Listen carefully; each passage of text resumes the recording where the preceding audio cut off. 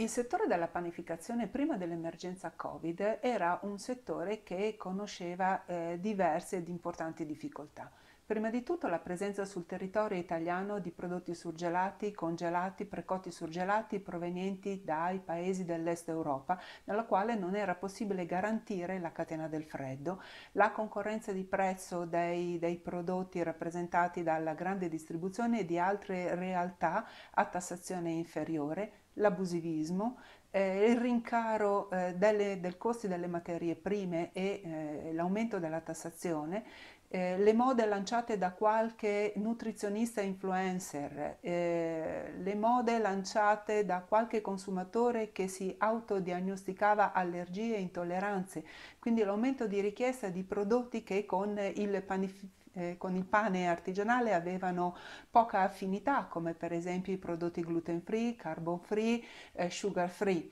Eh, la, la, messa in commercio da parte di qualche panificatore artigianale di prodotti estremamente commerciali, Insomma, tanti fattori che eh, nel loro piccolo eh, hanno ehm, contribuito allo stato di crisi del settore. La situazione post-Covid con le misure di contenimento ha notevolmente aggravato lo stato di crisi del settore della panificazione artigianale.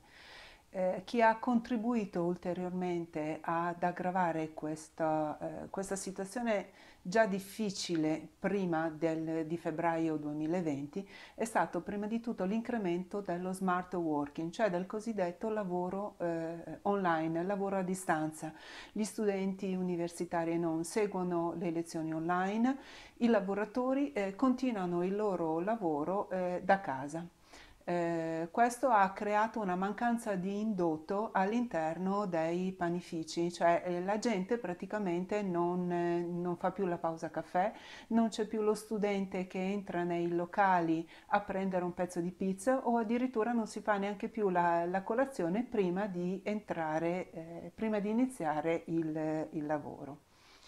Oltre a questo si aggiunga anche che le misure di contenimento del Covid-19 hanno eh, ridotto il flusso delle persone all'interno dei locali, creando innumerevoli code fuori dagli stessi. Questo in condizioni atmosferiche avverse, come potrebbe essere il caso di pioggia o, ne o di neve, eh, disincentiva parte dei consumatori che prediligono acquistare i prodotti dell'arte bianca, pane, panettoni o qualsiasi specializzazione tipica del nostro settore presso la grande distribuzione.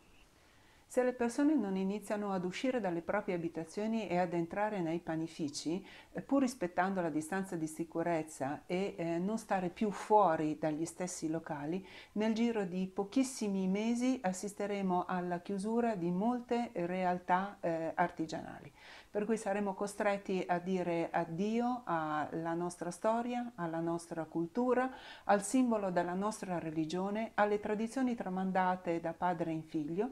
e soprattutto saremo costretti a dire addio a, eh, al simbolo dell'artigianalità italiana nel mondo.